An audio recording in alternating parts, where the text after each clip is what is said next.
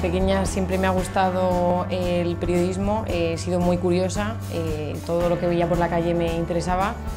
Bueno, primero todo porque es mi sueño, siempre quiero ser periodista desde, desde bien pequeñita. He decidido estudiar periodismo porque en la actualidad en lo que es la información y la verdad, sobre todo la verdad, está muy difuminada porque la sociedad es muy compleja.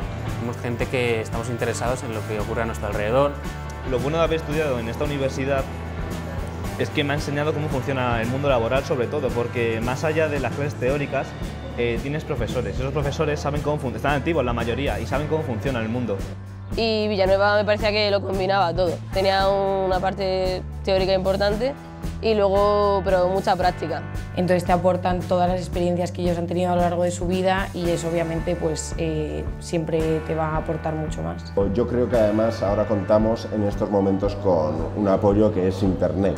Cualquier persona puede hacer lo que quiera sin ningún tipo de coste, solamente el coste del tiempo y colgarlo en las plataformas de internet. En el tema de comunicación de empresa, que eso igual la gente que entra lo conoce menos, pero cuando vas eh, avanzando sobre todo cursos lo te vas metiendo en ello y hay mucha gente que, que la apasiona y es otra salida bastante buena para los periodistas. El periodismo pues en una transición yo creo. Las generaciones que vengamos tenemos que ponerle muchas ganas. Lo que hay es un campo abierto de posibilidades. Pero que dará lugar a algo grande. Yo quiero estar al pie de la noticia y contarla yo fin y al cabo la responsabilidad social que tenemos los periodistas o que vamos a tener los periodistas va de eso.